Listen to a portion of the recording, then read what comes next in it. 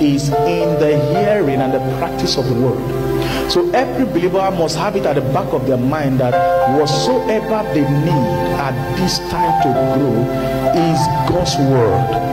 All right? God's word. It must be a thing of great importance and priority in the life of every believer.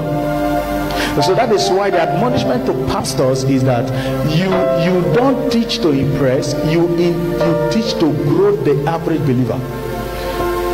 So that is why to every believer also we must beckon on what is important and not what is impressive. If you leave what is important and go for what is impressive, a time will come, it will only last but for a season and it will fade away. But if you go for what is important, what is important will bring impressive to you, and people will be impressed in what you're doing because you have leverage on the important things. So, one of the things that are of utmost importance in the body of Christ is God's word. So, every believer, you want to grow and become better with God and in your life, you must give attention to God's word.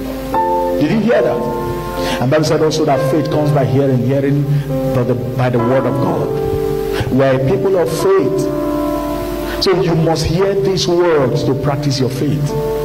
If you neglect the word, then you neglect the potency of becoming powerful in God's kingdom. Somebody that has great sickness, if you have not practiced faith for headache, your faith will not work for tumor. So that's why admonishment has always been practice faith for the little things. The more you practice your faith, the more you grow in manipulating things. Then you can call things that be not as though they were. Glory to Jesus.